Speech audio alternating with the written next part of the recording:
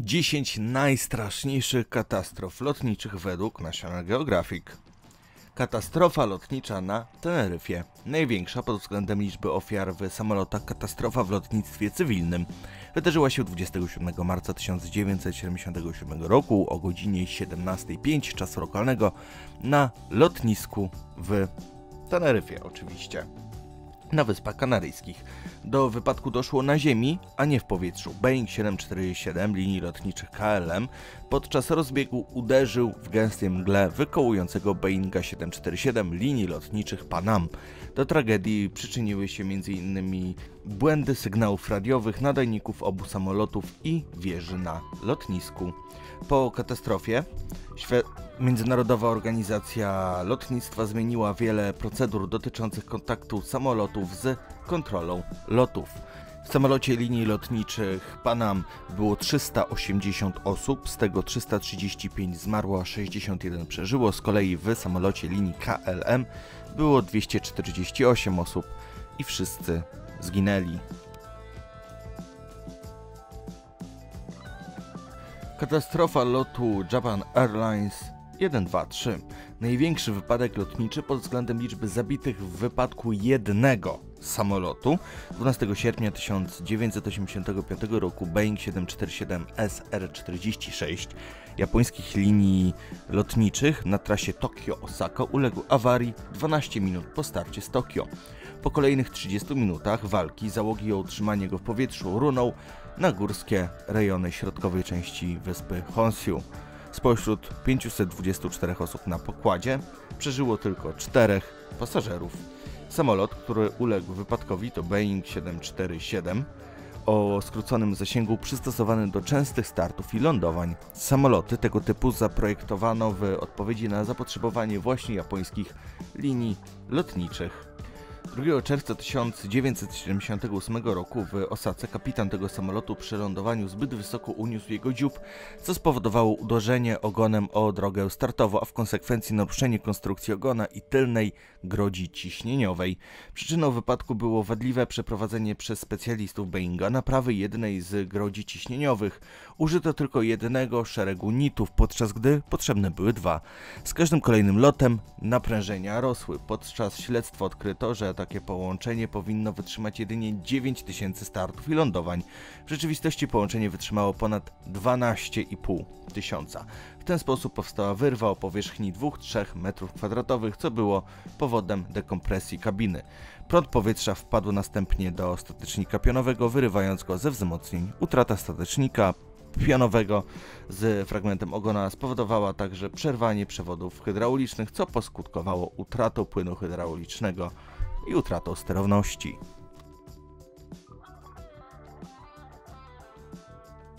Katastrofa lotnicza nad Harki Dadri. Zdarzenie dwóch samolotów w powietrzu, do którego doszło 12 listopada 1966 roku w Indiach. Zginęło łącznie 349 osób. Przyczyną katastrofy był błąd załogi Iła-76 kazachskich linii lotniczych. Załoga obniżyła wysokość do 14 tysięcy stóp zamiast dozwolonych 15 tysięcy podanych przez kontrolera zbliżania z wieży kontroli lotów. Doprowadziło to do sytuacji kolizyjnej. Czynnikiem sprzyjającym było brak systemu na pokładach samolotów i brak radaru wtórnego na lotnisku. Szczątki obu samolotów zostały rozrzucone na obszarze kilkudziesięciu kilometrów kwadratowych. Katastrofa samolotu Turkish Airlines 981. Miało to miejsce 3 marca 1974 roku na północny wschód od Paryża, stolicy Francji. Była to pierwsza tak poważna katastrofa w lotnictwie cywilnym. Życie straciło w niej 346 osób. Przyczyną okazała się nagła, wybuchowa dekompresja kadłuba i uszkodzenie systemów hydraulicznych odpowiedzialnych za sterowanie samolotem. Godzinie 12.30 maszyna wystartowała, kierując się początkowo na wschód, a następnie na północ, na port lotniczy Heathrow.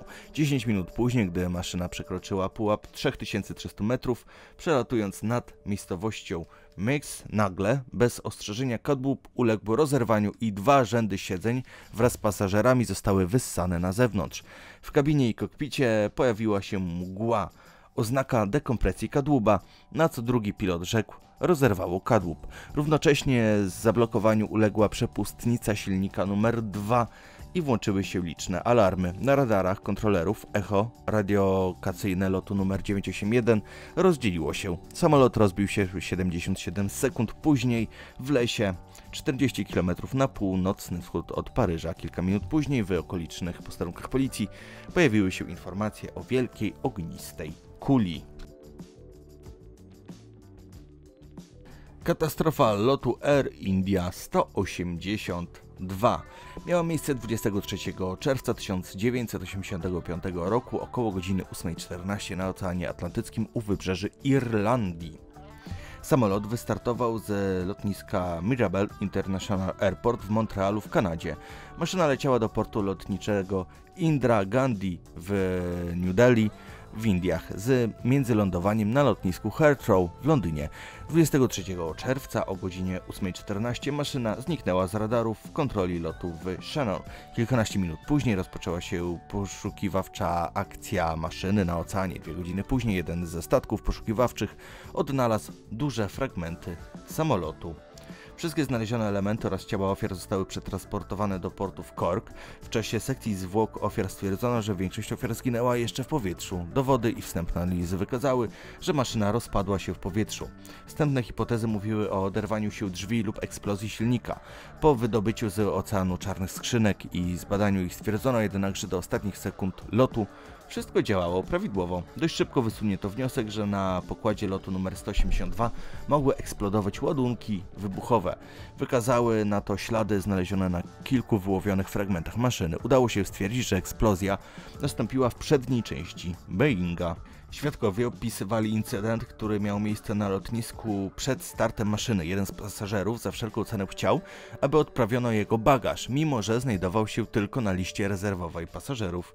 Będąca pod presją pracowniczka wykonała polecenie. Nikt jednak później nie zauważył, że był w pasażer wsiadł na pokład samolotu. Po śladach udało się stwierdzić, że bomba była ukryta w radiu we wnętrzu feralnego bagażu. Wkrótce udało się namierzyć sklep, w którym zakupiono sprzęt. Okazało się, że w pobliżu znajduje się się skupisko indyjskiej mniejszości narodowej.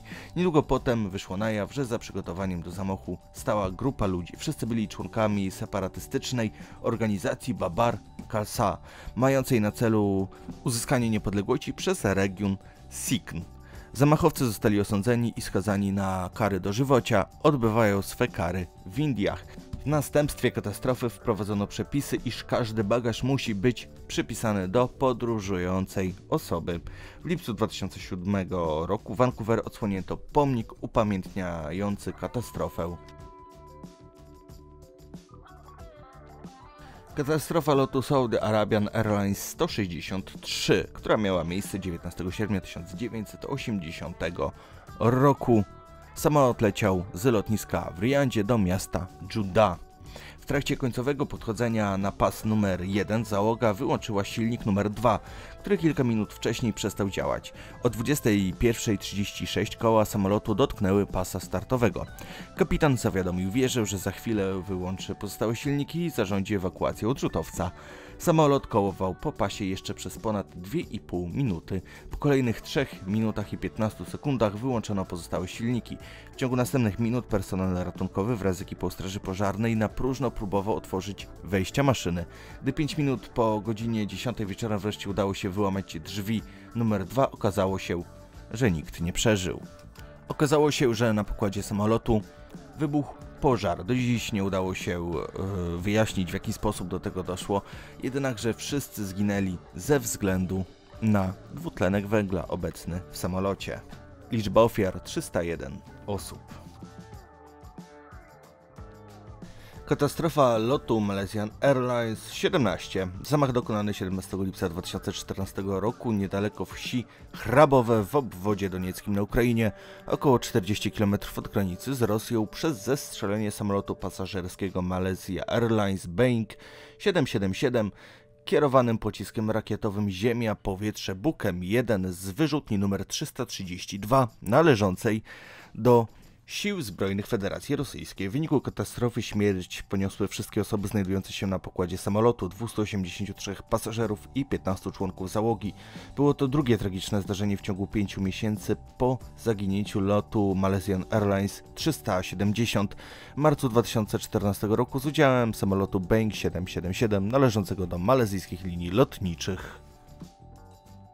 Katastrofa lotu Iran Air 655. Wypadek lotniczy, do którego doszło 3 lipca 1988 roku podczas wojny iracko-irańskiej.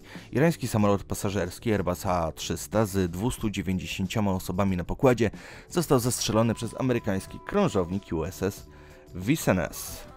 Lot samolotu miał odbyć się w tunelu powietrznym o szerokości 35 km, będącym linią prostą pomiędzy punktem startu i lądowania samolotu.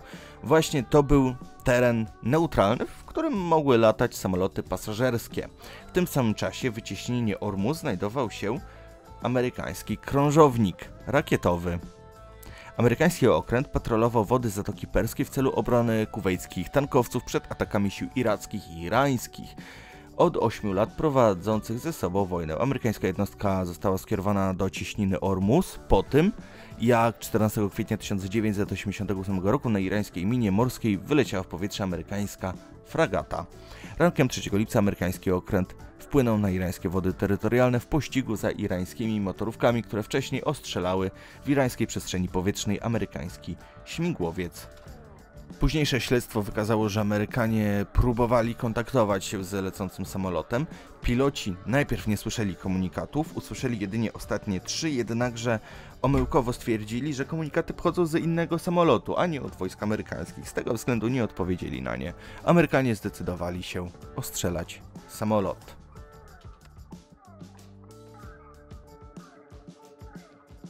Zamach nad Lockerbie Przeprowadzony 21 grudnia 1988 roku zamach terrorystyczny na samolot pasażerski linii Pan American World Airways nad Lockerbie w Szkocji. W wyniku podłożenia na pokładzie bomby eksplodował amerykański samolot Boeing 747 LOT 103 lecący z Londynu do Nowego Jorku z 259 pasażerami na pokładzie. Wszyscy zginęli, a spadające szczątki samolotu zabiły także 11 mieszkańców miasta.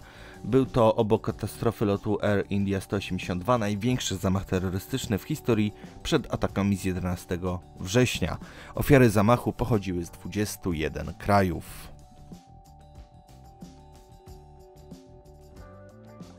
Zamachy z 11 września 2001 roku, seria czterech ataków terrorystycznych przeprowadzonych rano we wtorek 11 września 2001 roku na terytorium Stanów Zjednoczonych za pomocą uprowadzonych samolotów pasażerskich.